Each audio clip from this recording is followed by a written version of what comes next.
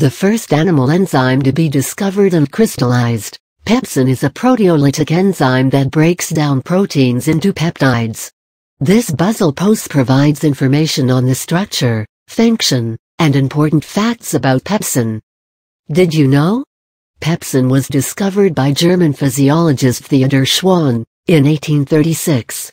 In 1930, it was isolated in the crystalline form by John H. Northrop of the Rockefeller Institute for Medical Research. The lining of the human stomach has millions of gastric glands. Following each meal, these glands perform the vital function of secreting gastric juice. Different types of cells are found within these glands. These include the parietal cells, chief cells, mucus-secreting cells, and hormone-secreting cells. The parietal cells secrete hydrochloric acid and intrinsic factor, whereas the mucus-secreting cells secrete mucin. The chief cells produce and secrete pepsinogen, which is the precursor to the proteolytic enzyme pepsin. It must be noted that the hormone-secreting cells in the stomach stimulate the gastric glands to secrete gastric juice. After the ingestion of food and its arrival in the stomach, the vagus nerve sends signals that stimulate the release of gastrin in the bloodstream. Once it comes in contact with the gastric glands in the stomach, it triggers the secretion of gastric juice, which comprises hydrochloric acid, mucus, and digestive enzymes such as rennin and pepsin. Pepsin enzyme function and uses.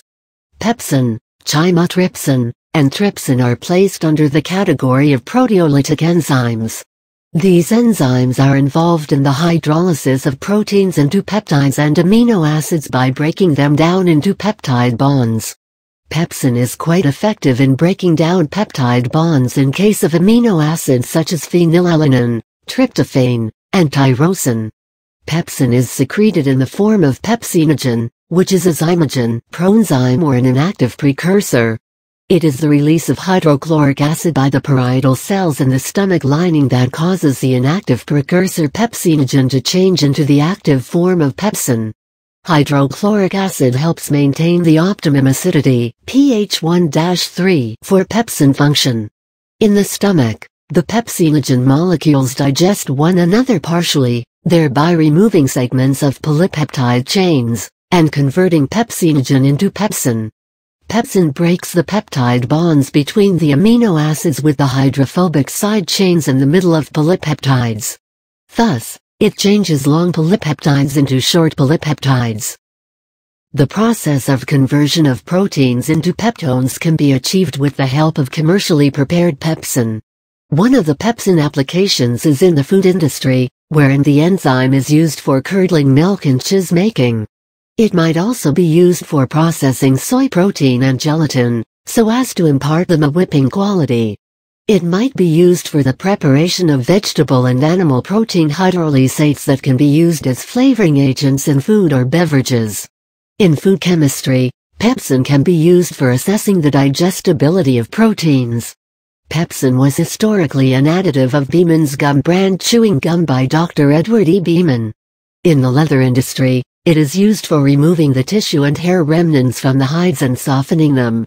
It is also used in the laboratory analysis of various proteins. Pepsin enzyme structure. Basically, proteins are large polymers that are joined by peptide bonds.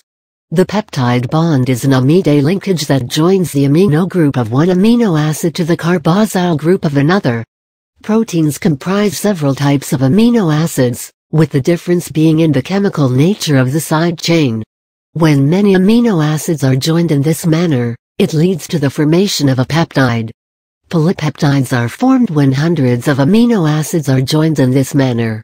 In case of proteins, one or more polypeptide chains are held together by non-covalent interactions. They have an N-terminus, where the amino group of the end amino acid is unlinked, and a C-terminus, where the carboxyl group of the end amino acid is unlinked. Pepsinogen has an additional 44 amino acids on its N-terminus. During the transformation of pepsinogen into pepsin, these 44 amino acids are released.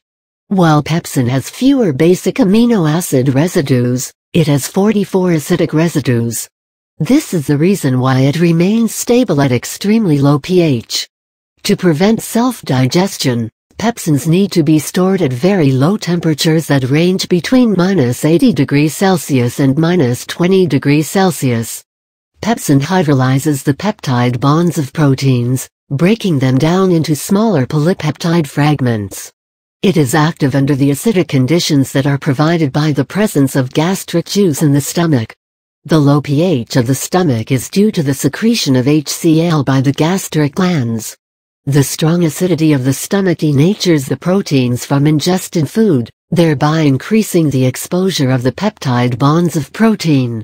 Pepsin works best at the acidity of normal gastric juice, which has the pH that ranges between 1.5 and 2.5. It must be noted that the reaction for the conversion of pepsinogen into pepsin requires a pH value of less than 5. Pepsin is not effective in the intestine, as the gastric acids are neutralized, with the pH value being 7. Laboratory studies have revealed that pepsin is most efficient in cleaving bonds involving the aromatic amino acids that include phenylalanine, tryptophan, and tyrosine. On a concluding note, the impulses from the vagus nerve, as well as the secretion of gastrin and secretin hormones stimulate the release of pepsinogen into the stomach, where it is mixed with hydrochloric acid and quickly converted to the pepsin enzyme. It must be noted that pepsin is only involved in the partial degradation of proteins. The main site of protein digestion is the intestine, wherein the trypsin, chymotrypsin, secreted by the pancreas, and others work on the digestion of proteins, thereby breaking them down into peptides, which in turn are converted into amino acids.